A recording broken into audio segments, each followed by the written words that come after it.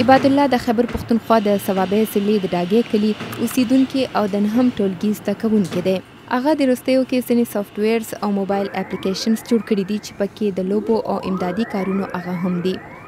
او په سکریچ دا سافټویر او پای کې هم بل هر څه جوړ کړو خنډنګ ډک هم پکې جوړ کړو او بل هم پکې سپیس باندې سپیس ګیم هم جوړ کړو سولر سیستم باندې جوړ کړو او یو پکې هلیکاپټر باندې جوړ کړو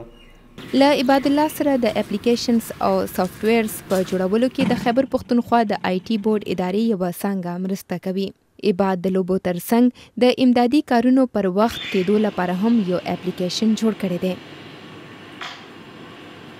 دا ریسکیو پوینټ وای اپلیکیشن دی چې تا د امبولانس ضرورت دی، د هلال احمر ضرورت دی، د فایر بریګیډ ضرورت دی، او د بم ډسپوزل واری ضرورت وی نو ته یی ته خپل کال هم کولی شی لوکیشن سند کولی شی زه اوس امبولنس والی ته کال کوم یا لوکیشن سند کوم نو تاته به چی کوم دی نو یو بل سکرین کولاو شی امبولنس والا ته به هی کی به تاسو سره چی کوم دی نو مختلف نمبری عباد الله وایی ډیر داسی خلک به لیدل چی په موبایل ټیلیفون به ورته لیکل نه ورتله نو ده د یو داسی اپلیکیشن جوړولو اراده وکړه چی غږ په لیکلو کی بدلولی شی. د خیبر پښتونخوا د آی ټي بورډ ادارې یو مشر شیراز وايي، اداره یې د صوبې په بېلابېلو سیمو کې د سرکاري سکولونو ماشومانو ته د ټکنالوژۍ په برخه کې روزنه ورکوي. دا په ټول KPK کې موږ سره فورټین ډسټرکټس کې دا پروګرام رن کېږي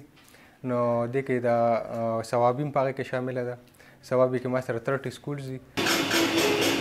عبادالله د ټکنالوژۍ په برخه کې په لویه کچه روزنه او دغسې د نورو سافټویرز او اپلیکیشنز له لارې د خلکو ژوند اسانول غواړي.